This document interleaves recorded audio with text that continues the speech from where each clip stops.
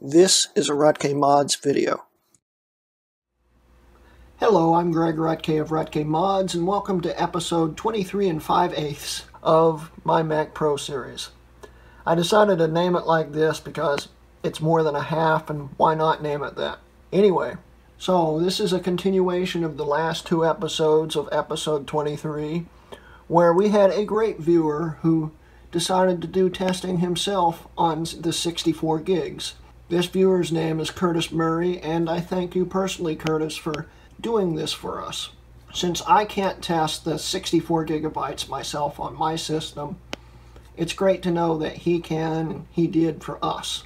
Curtis's findings are basically what I theorized would, the findings would be.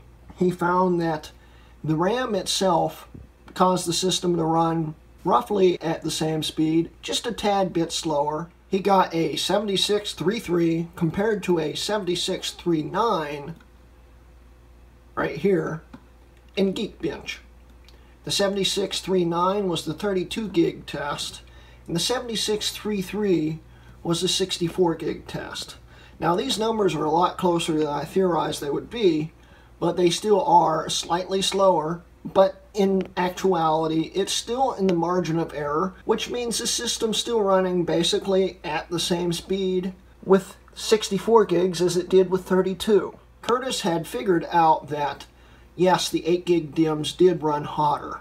He also figured out that it could be that the the performance differences were caused by a little bit of heat throttling.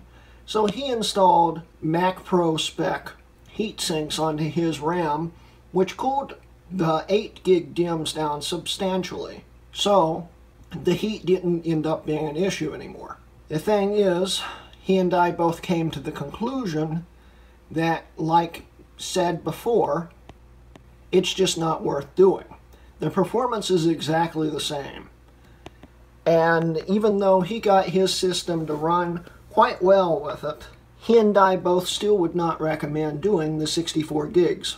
Of course you can, for bragging rights, that you're running 64 gigs, but we both recommend not doing it and saving your money because you're still getting the same performance as having 32 gigabytes worth of RAM. The thing is, Curtis's system did stay pretty stable, and after changing the heat sinks, it stayed pretty cool too.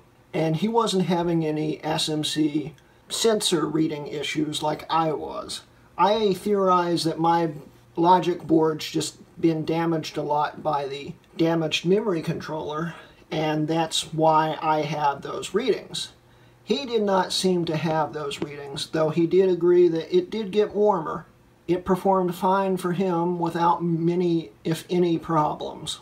But like stated before, stick with the 32 gigabytes worth of RAM. It's not worth going to 64 gig, and if you do, the only reason why you should is if you're using high memory intensive programs. Other than that, you're still getting the same performance and we both recommend just sticking with the 32 gigabytes. Anyway, once again, thank you Curtis for doing all these tests and there's in the video. Thank you for watching. This has been a Hrutkay Mods video.